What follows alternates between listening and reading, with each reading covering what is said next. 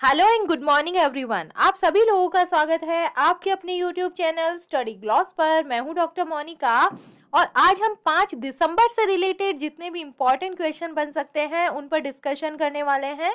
और क्वेश्चन से रिलेटेड जितने भी इम्पोर्टेंट फैक्ट होते हैं, साथ में वो भी मैं आपको बताऊँगी।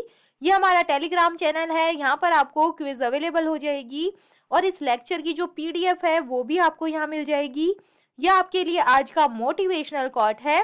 जो अपनी ज़िंदगी में कुछ पाना चाहते हैं, वो समुन्दर में भी पत्थरों के पुल बना लेते हैं।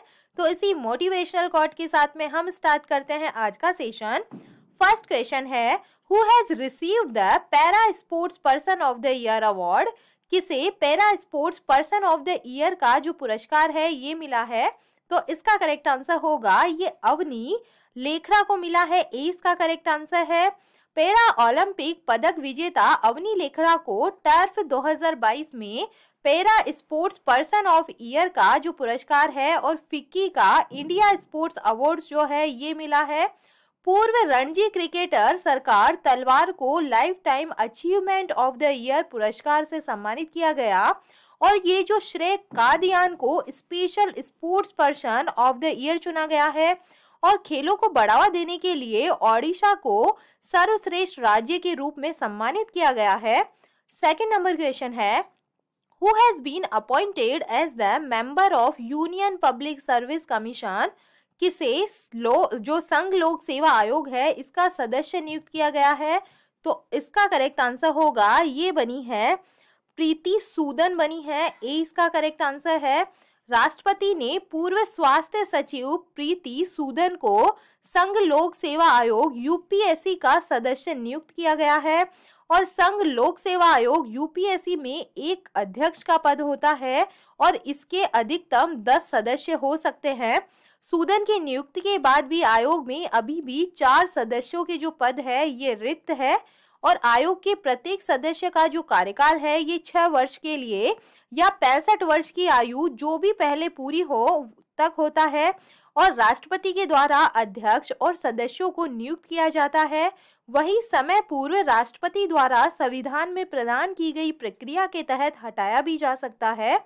संघ लोक सेवा आयोग मतलब UPSC, union public service commission, भारतीय प्रशासनिक सेवा, आईएएस और भारतीय विदेश सेवा आईएफएस और भारतीय पुलिस सेवा आईपीएस सहित अन्य के अधिकारियों का चयन करने के लिए सालाना तीन चरणों मतलब प्रारंभिक प्रीलिमिनरी और इसके बाद में मेंस और इसके बाद में जो इंटरव्यू होता है, आदि में सिविल सेवा परीक्षा आयोजित ये करवाता है।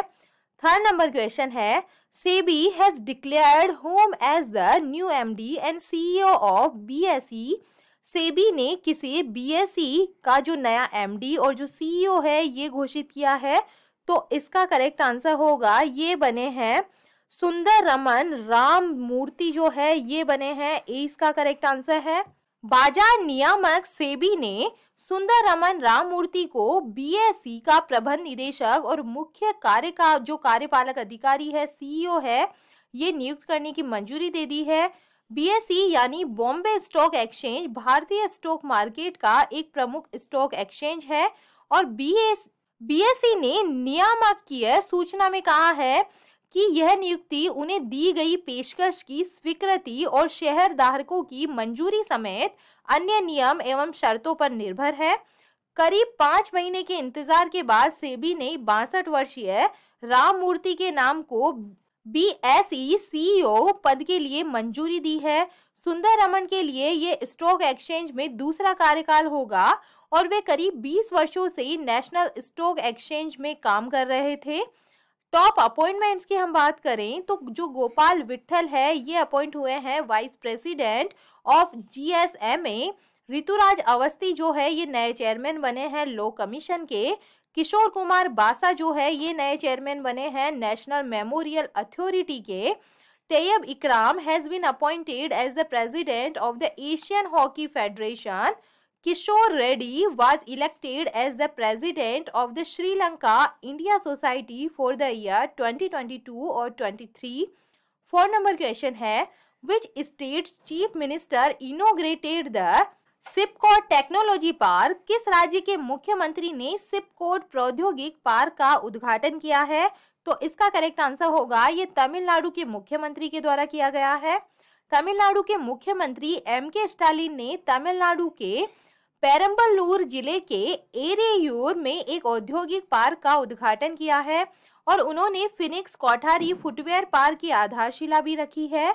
तमिलनाडु के राज्य उद्योग संवर्धन निगम सिपकोट के दो एकड़ के पार्क का उद्घाटन जो है ये 2022 और 23 के बजट सत्र में एक घोषणा के बाद किया गया कि कोयम्बटूर पेरम्बलूर मुदुरे वेलोर और तिरुवल्लूर जिलों में नए पार्क स्थापित किए जाएँगे और सरकार को उम्मीद है कि पेरम्बलूर ज़िले में गैर चमड़े के जूते और उनकी संबंधित कंपनियाँ पाँच हज़ार करोड़ रुपए का निवेश आकर्षित करेंगी और पचास हज़ार लोगों के लिए जो रोज़गार है ये सृजित करेगी। कंपनियाँ रोज़गार में महिलाओं को तरजीह देगी और ज़िले के आर्थिक विकास का मार्ग भी प्रशस्त करेगी। तमिलनाडु की हम बात करें, the Tamil Nadu government constituted a panel for the protection of vultures Tamil Nadu state government notified India first slender loris sanctuary Pegatron has started manufacturing the iPhone in Chennai. Tamil Nadu cabinet has approved to regulate online gambling. Five number question है who has been honoured with the emissary of peace award the emissary of peace award से किसे सम्मानित किया गया है तो इसका correct answer होगा ये दिया गया है श्री रवि शंकर को सी इसका करेक्ट आंसर है। भारतीय आध्यात्मिक नेता और वैश्विक स्तर पर मानवता की वकालत करने वाले श्री श्री रविशंकर को अमेरिकी शहर मेम्फिस में राष्ट्रीय नागरिक अधिकार संग्रहालय के द्वारा प्रतिष्ठित द एमएसरी ऑफ़ पीस पुरस्कार से सम्मानित किया गया है और रविशंकर को उनके अनुयायी श्री श्री और गुरुदेव जैसे सम्मान सूचक शब्दों से संबोधित करते हैं। श्री श्री रविशंकर स्वयंसेवी गैर सरकारी संगठन आर्ट ऑफ़ लिविंग के संस्थापक है और ये संगठन स्वास्थ्य तकनीक पर आधारित कई तनाव निवारण और आत्म विकास कार्यक्रम, ध्यान और योग का प्रशिक्षण देता है। सिक्स नंबर क्वेश्चन है the chief minister of which state has launch the AMLAN anaemia Mukt lakh अभियान किस राज्य के मुख्यमंत्री ने एमलान एनीमिया मुक्त लाख अभियान शुरू किया है? तो इसका करेक्ट आंसर होगा, ये ओडिशा गवर्नमेंट ने शुरू किया है। ओडिशा में महिलाओं और बच्चों में एनीमिया की समस्या का पूर्ण उन्मूलन सुनिश्चित करने के लिए मुख्यमंत्री नवीन पटनायक ने राज्य में जो है ये A M L A N मतलब एनीमिया मुक्त लाख अभियान शुरू किया है और राज्य ने लक्षित समूह के बीच एनीमिया की त्वरित कमी के लिए एक बहुआयामी दृष्टिकोण तैयार किया है।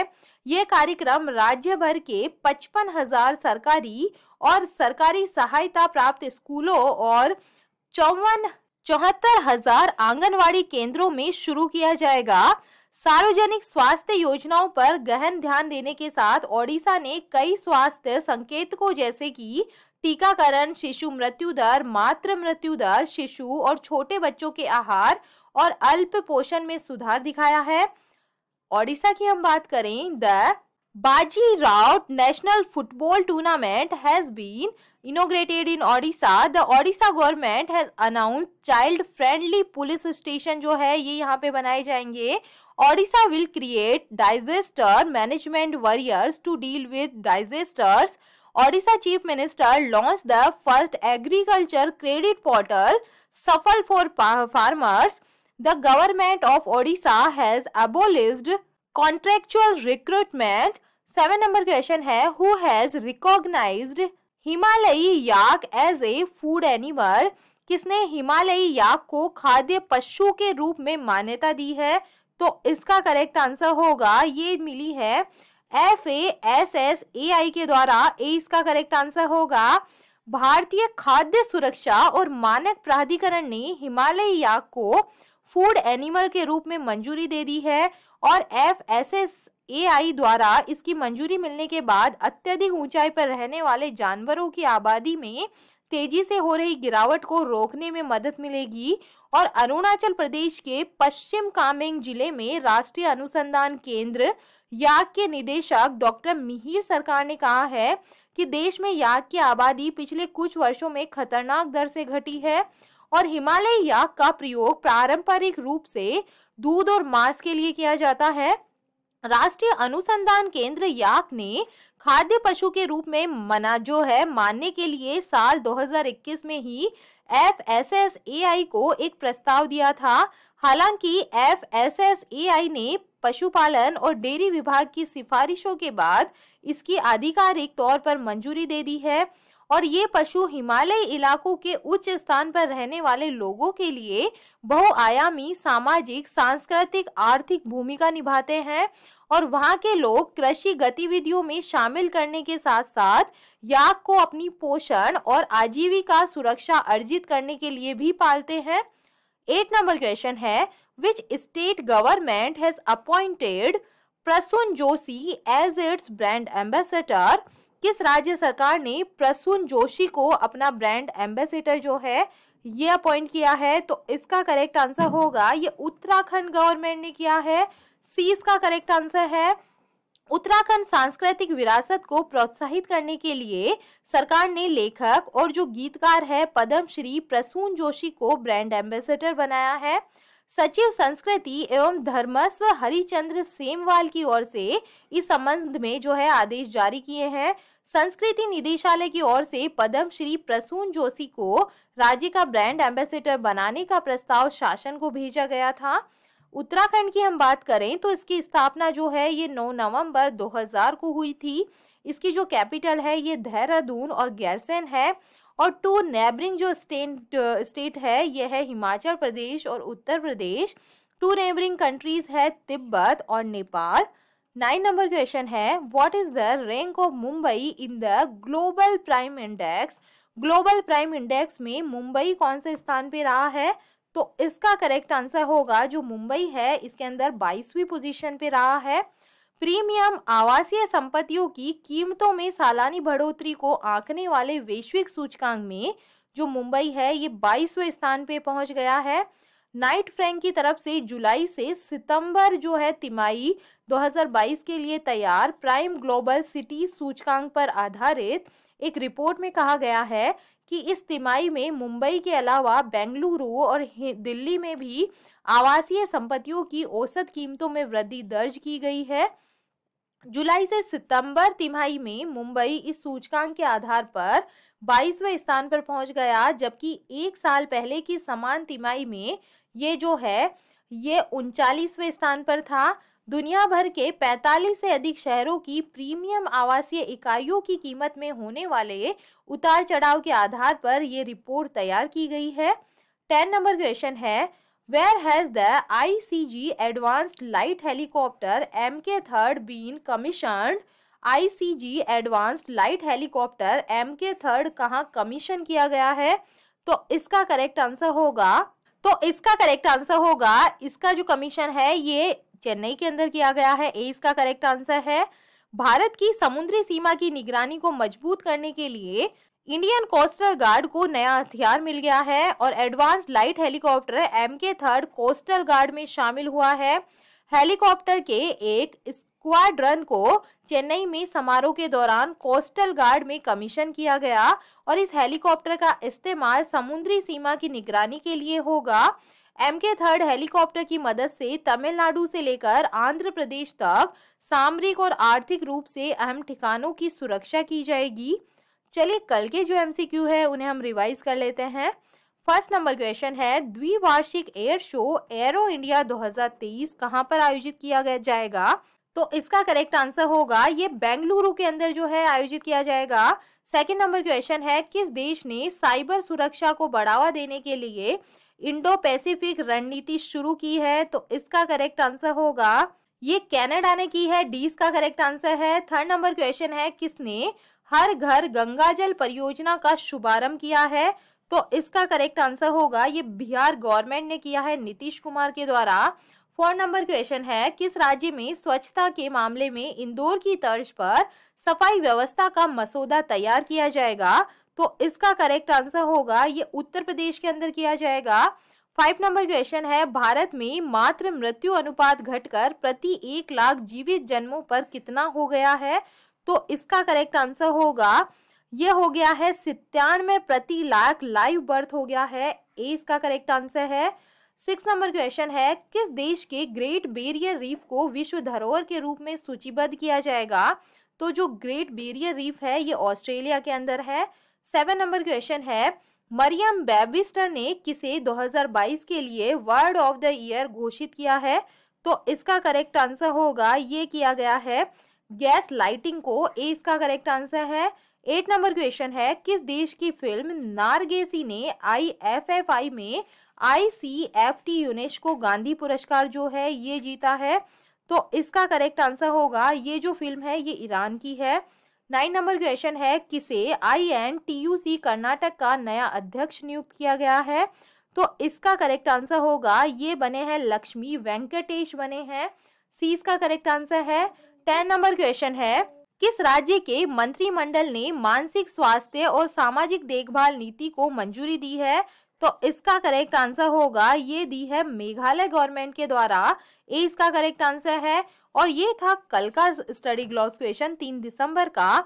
आईपीपीबी ने कहा भारत का पहला फ्लोटिंग वित्तीय साक्षरता शिविर जो है, ये आयोजित किया है। तो इसका करेक्ट आंसर होगा, ये जो है जम्मू एंड कश्मीर के अंदर स्थापित किया गया है। भारत सरकार के स्वामित्व वाले इंडिया पोस्ट पेमेंट बैंक ने श्रीनगर के अंदर जम्मू और कश्मीर की जो विश्व प्रसिद्ध डल झील है, इसके आसपास भारत का पहला तैरता हुआ वित्तीय साक्षरता जो शिविर है, ये शुरू किया है। और ये है आप लोगों के लिए आज का स्टडी ग्लॉस क्वेश्चन। पूरे राज्य में सोने की एक समान कीमत वाला राज्य कौन सा बना है? तो इसका आंसर आप मुझे कमेंट सेक्शन में दीजिएगा। ये हमारा टेलीग्राम है, यहाँ पर आपको सारे क्वेश्चन क्विज के फॉर्मेट में अवेलेबल होंगे। आई होप आपको सेशंस पसंद आ रहे होंगे। अगर पसंद आ रहे हैं तो इन्हें लाइक कीजिए। अपने दोस्तों के साथ में शेयर कीजिएगा। तो चलिए मिलते हैं हम एक नए सेशन के साथ में। Thank you